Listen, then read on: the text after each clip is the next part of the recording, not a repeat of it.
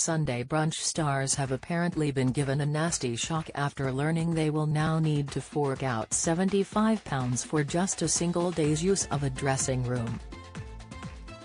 According to reports, those appearing on the popular show will have nowhere private to change their clothes unless they stump up the fee. A source published in The Sun explained, celebrities have been really taken aback by the move, it's totally unheard of in the industry.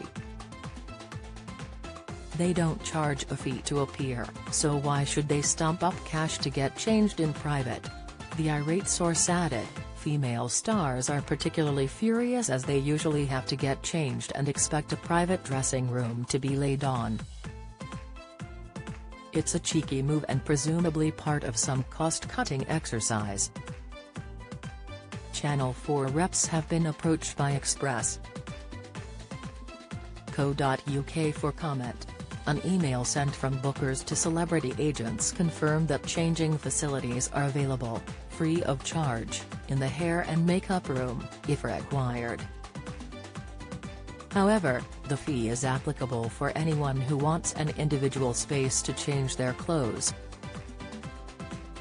Meanwhile, the communal green room has been offered without charge as a location for stars to relax and get ready for their appearances.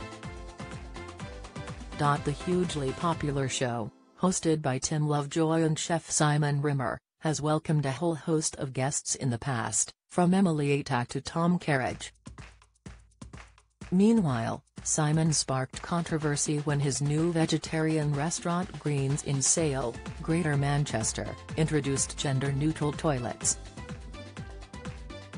One Twitter user recently wrote, just been to at Simon Rim's lovely new restaurant where I was disappointed to discover gender-neutral toilets.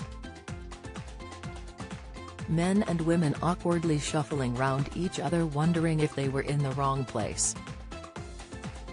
Simon later took to social media to address the issue, explaining, our decision to have unisex toilets was not taken lightly.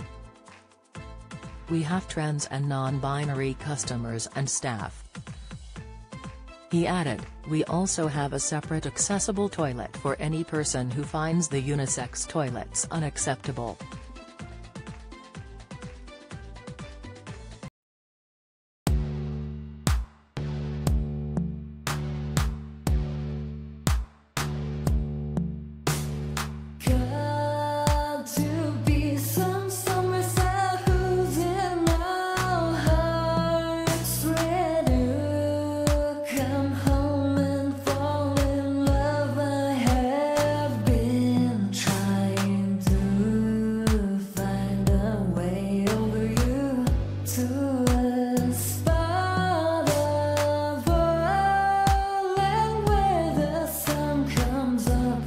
love.